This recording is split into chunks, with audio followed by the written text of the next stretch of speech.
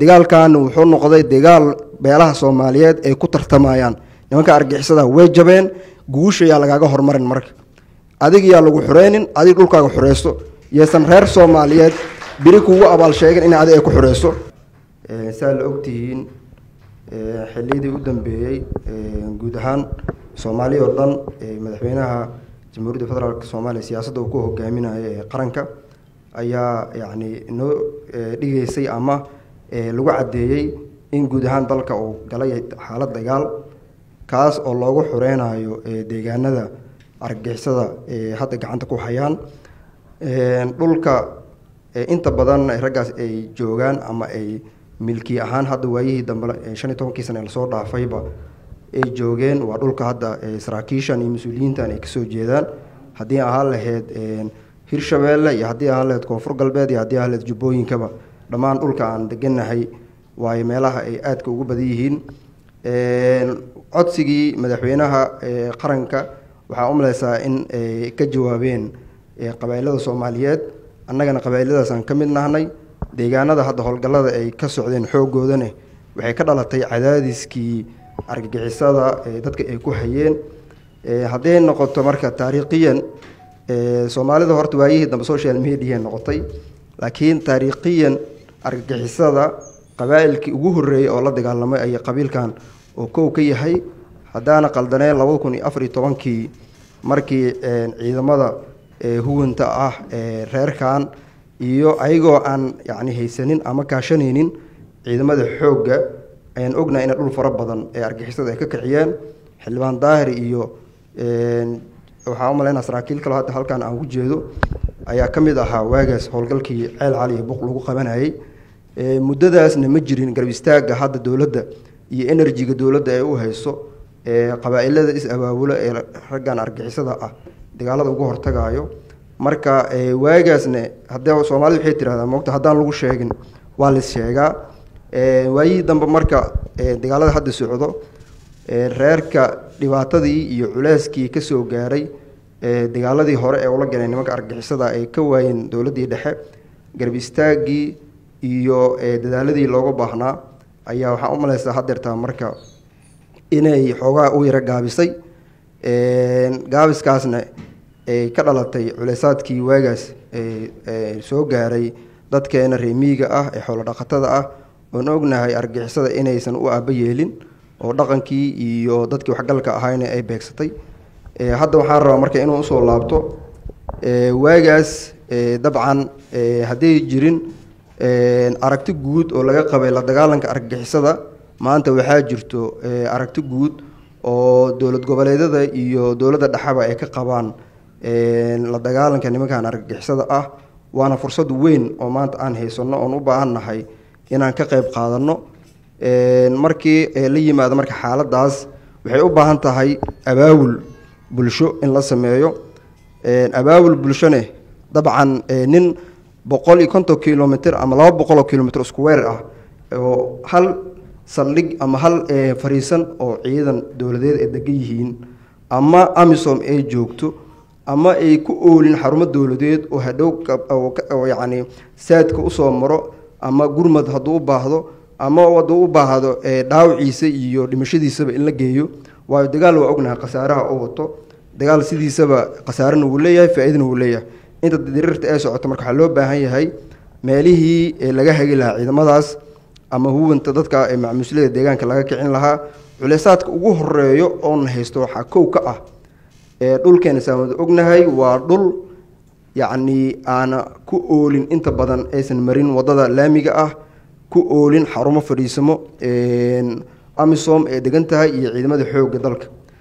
Inta badanna marka culeysaadka dadka haddii la abaabulo ama la kiciyo culeysaadka wuxuu ka imaanayaa ama dadka aqliga u saaxiibka ay ku weydinayaan meeshii hadhow ay ka heli lahaayeen gurmadka iyo wax la midka ah.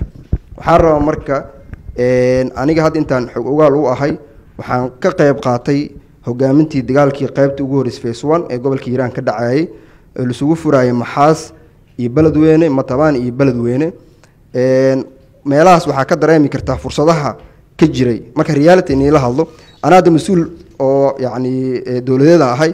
Laakiin waxaan rabaa inaan wax idin idiin sawiro dagaalada deegaanada hadda ay ka socdaan iyo deegaanada kale markii loo gudbo. Waxyaabaha isba isqaban doono. Inaan hadda sii ogaa sii ogaano si aan xalkeeda u diyaarino maadaama mas'uuliyiintii qaranka nagu matalaysa aan haysano ee deegaanadaas kontonkii kilomitr ama afartii shan kilomitrba waxaa ku taalay laga heli karay adeegyadii dowladda. Haddii ahaan lahayd maamul haddii ahaan lahayd maxaa la yihahda xarumihii ciidamada amisom ay degnaayeen iyo ciidamada dowladda. Haddii dagaalkaas marka lagaaga yani lagaaga adkaado afartan iyo shan kilomitr meel u jirto haddaad ka dagaalamaysid waxaa heli kartaa gurmadka inuu si dhaqsiha kugu soo gaaro. Inaad dhaawacaaga la bixi kartid inaad qeyladhaan dirsan kartid. Laakiin markaad boqol kilomitr ama afartan shan kilomitr gudaha meel u geshid waxa kaa dambeeya iyo waxa kaa horeeyaba ay nidaam dowladeed uusan ka jirin waa dareemi kartaan marka aniga waxaan qabaa marka koowaad mas'uuliyadda mas'uuliyiinta halkan fadhiso. Maxaa la yidhaahdaa federaalka qaranka nagu matalo in marka koowaad ciidamada militariga gaar ahaan ciidamada kumaandooska oo hadda howlgallada ka qayb qaadanayo haddii ahaan lahayn gorgor iyo haddii ahaan lahayn danab sida ugu dhaqsiyaa badan waa inaan helnaa urur ama guuto. Haddana yacni reality in laga hadlaa loo baahan yahay. Xildhibaanada sharafta leh waxaan ka codsanayaa madaxweynaha qaranka sida ugu dhaqsiyaha badan leh inay nooga amraan ciidan xooggan oo ciidamada deegaanka way diyaarsan yihiin abaabulkeeda iyo iyo yacni iyo iyo iyo howsheedana haddii intaan ka soo marnay oo waagii ilaa hadda waa wadnay idinkan xoogaala utihiin naftigiinba waa wadeen laakiin waxa ugu badan caqabadda imaanaysa waxaa waaye inaan ka faa'iidaysano xoogga dalka soomaaliyeed annaga kama faa'iidaysanon xoogga dalka. Aniga markaan ka imaaday dagaaladii dhankaasi ka socday gobolka hiiraan yani markaan ka soo laabtay magaalada beledweyn aan imid waxyaabaha ugu badan oo oo oo yacni reerka aan kala kulmaya waxay ahayd diyaaraan nahnay na hogaamiya diyaaraan nahnay yani niyaddooda way wanaagsan tahay. Laakiin fursadda fursadda looga faa'iidaysanaya ciidanka xoogga waa waa waa dareemi kartii wax badan oo kor loo sheegi karinaa jirto. Annaga saraakiisheenna ma haysano dad madax bannaan ama hogaano madax bannaan haayo dhammaantood waa laga sarreeyaa haddii qeybo yihiin iyo haddii meelo kale yihiinba dhammaan waa laga sarreeyaa taliyaha ka sarreeyaana amarka ugu dambeeya iskale annaga marka taa haddaan heli karin waa inaan helnaa war cad oo madaxweynaha qaranka laga helo inuu noogu amro. In ciidamadaas hadda aan soo sheegay ee kumaandooska ee qalabkooda u dhamaystiran yahay inay howlgalkan qayb ka noqdaan. Number one waa mid waa midaas midda labaad yacni dhaqanka iyo iyo dhallinyarada xooggooda way abaabulan yihiin. Inta dhimanne waxaan qabaa waxay ahayd intana ha laga wado odayaasha joogto iyo waxgaradka ganacsatada joogto. Xagga deegaanadii hadda la isku kala qaybay haddii hiiraan ahaan laheyd iyo haddii shabeellada dhexe ahaan laheyd iyo haddii kismaayo ahaan laheydne iyagana wacyigelinta si xoogan ha loo sameeyo. Taana waxaan annaga dhana iswada fareyno maamul ahaan aan stateka aan matalo oo hirshabeella labada gobol abaabulkeeda iyo iyo maxaa la yidhaahdaa kicinta dadka. Iyo haddii ahaan lahayd qabaailada soomaaliyeed oo dhan mas'uuliyadda koowaad oo isaarneeda aheyd taasna waajibkeeda waa gutay. Oo hadeertaan yacni xildhibaanadana waa la kaashaday inta dhimanna waa dhammaystireynaa waxaan rabaa marka inaan mas'uuliyiinta oo hadda halkan fadhisa ee saraakiisha ah iyagana inaan yacni angalka ama qeybta ay ka qaadan lahaayeenna aan u sheego. Walaalayaal saa ogtihiinba maalmihii u dambeeyey diyaaradaha muqdisho laga daabulayo oo ciidan iyo saraakiil ah diyaaradahaas oo muqdisho laga daabulayo waxa saarnaa waa ciidan iyo saraakiil waxayna u socdeen deegaanka ay ka soo jeedaan inay xoreeyaan idinka marka marna wadaniyiinaad tihiin marna yacni idinkoo gudana waajibaadka qaranka oo dalka idinka saarnaa ayaa marka kalena waxaa gudanaysa waajibaadkii yacni deegaan ahaan sida gaarka idin quseeyey soomaalidu federaalay noqotay federaalkii haddana ka sii federaal sii ah nin walba waa deegaankiisa dagaalkan wuxuu noqday dagaal beelaha soomaaliyeed ay ku tartamayaan. Nimanka argixisada way jabeen guusha yaa lagaaga hormarin marka.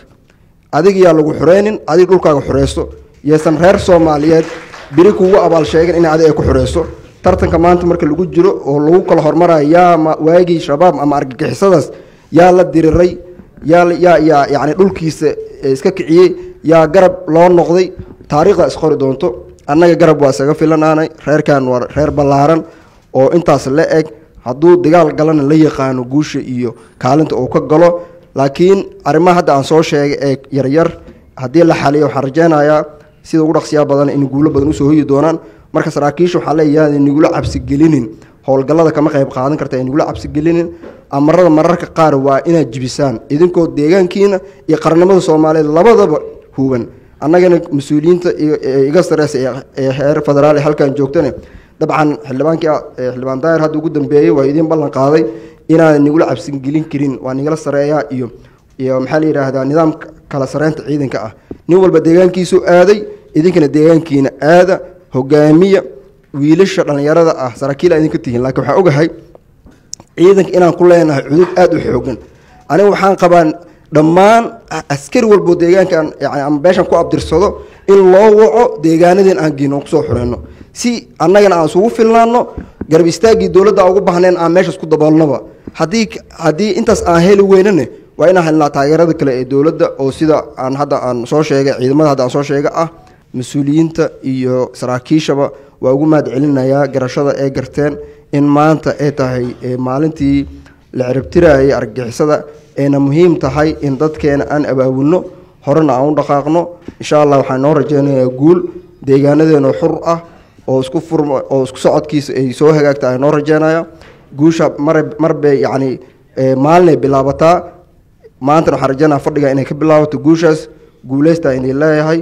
Dhammaantiin waa idiin mahad celinaya sidaa ugu soo qayb gasheen. Waxaan u ballan qaadayaa saaxiibada. Igula soo biiri doonta dagaalka ee dhanka ee hirshabeelle waayo aan isteedyada kale uma gudbi kari maadaama reerka aan ahay laakiin waxba ay xadeynayo reer hirshabeelle saraakiishooda iyo mas'uuliyiintooda waxaa leeyahay ku soo dhawaada deegaanada hirshabeelle ka soo qayb qaata noo imaada aan isgarabsano assalaamu calaykum waraxmatullahi wabarakaatu